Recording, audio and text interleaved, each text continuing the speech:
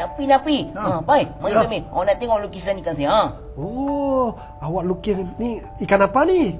Oh, inilah gambar ikan. Awak tengok. Wah, cantiknya ikan awak ni Adam. Oh. Oh, eh saya seronok tu warnakan ikan ni kan. Ha, paling yang saya suka sekali bahagian sisik dia. Ha. Oh, eh, eh Adam, kami suka warna mata ikan tau. Ha. Ah, mata ikan ada dua lingkaran warna yang berlainan. Oh, Ha. macam tu. Hmm. Eh, Adam. Hmm. Ini gambar ikan apa Adam? Eh, inilah gambar ikan kelisa. Ha, awak tengok sisik dia, tengok betul-betul. Cantik kan? Ha, buat warna-warni. Ha. Eh, kami sukalah nak warnakan gambar ikan. Ha, awak nak warnakan, awak kenalah lukis dulu ikan apa awak nak buat. Oh, ya tak ya Ha. juga ya. Hmm, kalau ikan keli boleh? Ikan keli warnanya tak cantik lah, Ah, Nabi. dia coklat hitam macam tu je kan. Ha, awak warnakan ikan ikan buntal. cantik ikan buntal cantik. Assalamualaikum dan selamat sejahtera adik-adik. Apa khabar semua? Sihat? Harap-harap ceria selalu. Hmm, hari ni kita nak belajar apa? eh? Hari ni kita akan belajar mengenali hidupan air di Aquaria KLCC. Jom. Aquaria ni terletak di Concourse Level, Kuala Lumpur Convention Centre, Kuala Lumpur City Centre. Di sini, kawan-kawan boleh menyaksikan lebih 5,000 ekor haiwan yang terdiri daripada pelbagai spesies. Hidupan yang diantaranya memerlukan air sebagai medium habitatnya. Mari kita jalan-jalan sambil mengenal spesies yang ada. Wah, seronok kan? Seronok melihat ikan-ikan berenang. Sungguh mengasyikkan.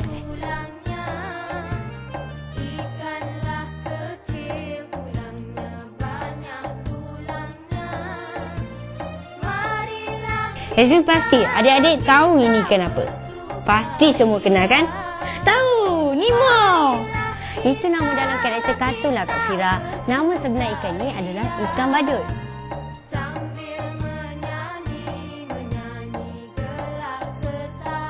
Eh, Kak Fira takut dengan ikan ni. Takut? Kenapa? I- Ini ikan piranha. Ikan karnivor air tawar ini tinggal berkumpulan di dalam sungai-sungai di Brazil, Amerika Selatan. Ikan ini mempunyai banyak gigi yang sangat tajam yang digunakan untuk memakan mangsa. Ikan ini mempunyai deri bau yang sangat kuat. Hmm, Ezri pun takut. Eh, besar ni ikan ni. Adik-adik tahu tak ni ikan apa? Hmm, Kak Fira nak teka? Kak Fira tak tahulah Ezrin. Ha, buat pengetahuan adik-adik dan Kak Fira, ini ikan keli ekor merah.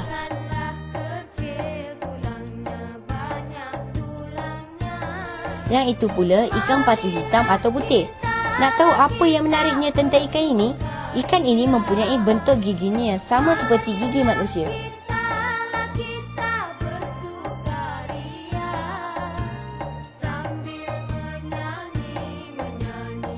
Eh, eh, eh, jangan serang Ezrin. Kalau kat sini, ikan jerun tak akan dapat serang kita lah Ezrin. Lagipun, ikan jerun tak akan menyerang kita kecuali terasa terancam. Ikan jerung mempunyai beberapa deretan gigi yang dapat diganti sepanjang hidup mereka.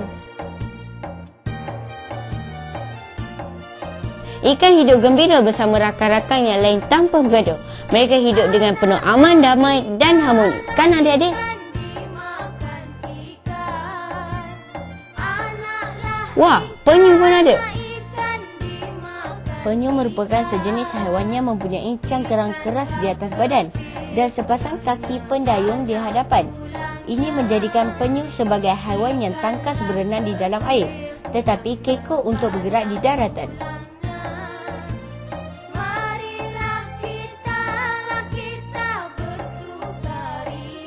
Eh, mari kita lihat lagi hidupan air yang ada di akuarium ni. Cantik kan? Ini obok-obok bulan. Obok-obok berenang dengan kuasa pancutan air dari badannya yang berbentuk loceng. Namun kebiasaannya hanya terapung mengikut aliran arus air. Sesungut yang terdapat pada obor-obor digunakan sebagai senjata mempertahankan diri dengan menyengat mangsanya.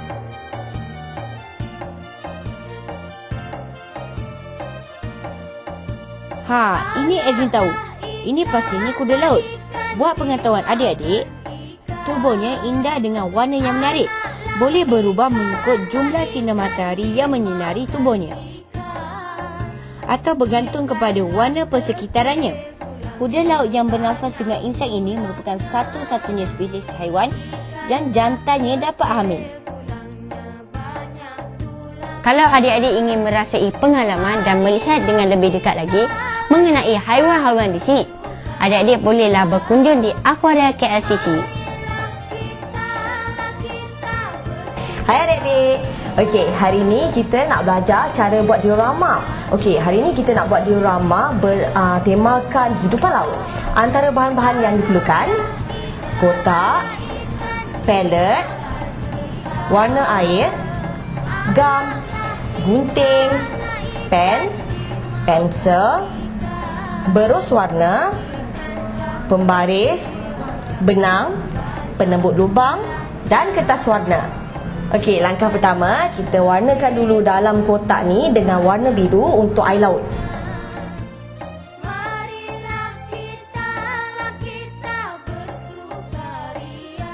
Okey, sekarang kita mula warnakan kotak ni.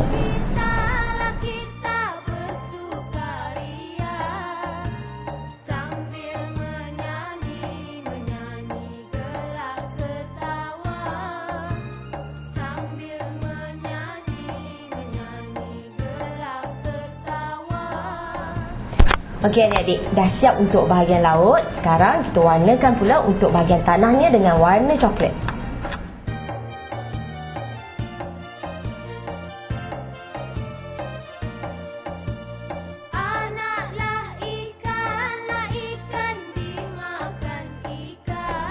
Ha, dah siap pun adik-adik untuk warna bahagian tanah dia. Sementara kita tunggu dia kering, mari kita lukis dulu hidupan laut. Antaranya ikan, ha, kuda laut, tupai laut.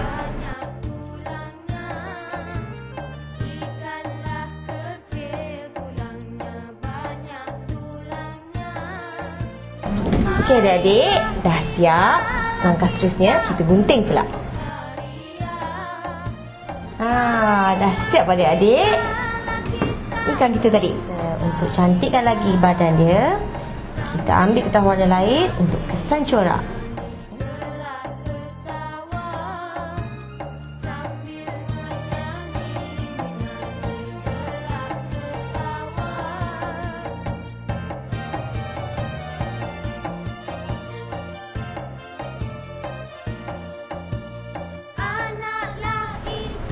Ha, dah siap pun adik-adik corak kat badan dia.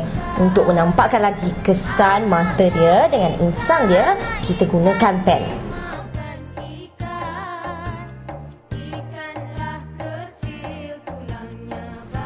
Ha, dah siap adik-adik? Ni ikan kita tadi. Komen kan? Okey, sekarang pada siap ikan ni, kita ambil kotak kita yang kering tadi Kita dah warnakan, dah kering Kita ambil, kita tebuk lubang di atas ni uh, Di permukaan atas kotak ni Sebab kita nak gantung nanti ikan-ikan ni nanti. Okey, kita tebuk sekarang dengan penebuk lubang. Ha, dah siap pun lubang ni. Okey, untuk seterusnya kita tebuk lagi bahagian sini dan bahagian sini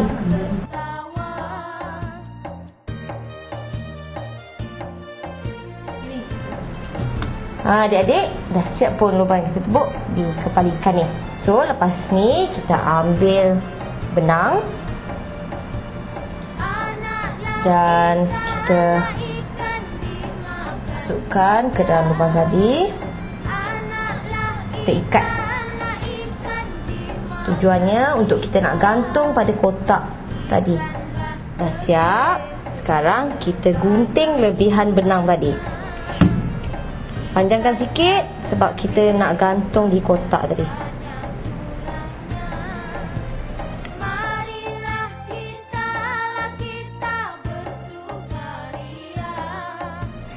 Ha, dah siap pun ikan yang tergantung tadi. Cantik tak? Okey, lepas ni kita tambah pula ikan-ikan dan hidupan uh, laut yang lain. Contohnya rumpat air, kuda laut.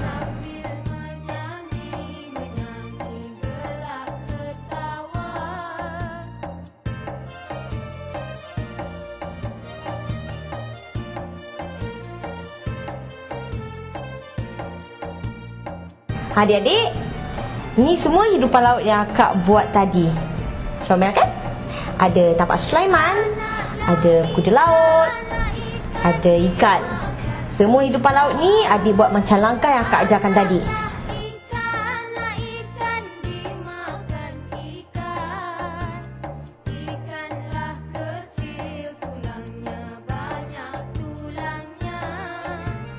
Okey, sekarang untuk langkah terakhir kita ambil pen dan kita lakar di tepi-tepi bahagian belakang uh, lautan kita ni supaya lebih kelihatan menarik dan lagi terang. Lah Ha, dah siap pun adik-adik di rumah kita? Cantik tak? Senang kan? Jadi, akak harap adik-adik akan mencuba membuat diorama ni di rumah. Selamat mencuba!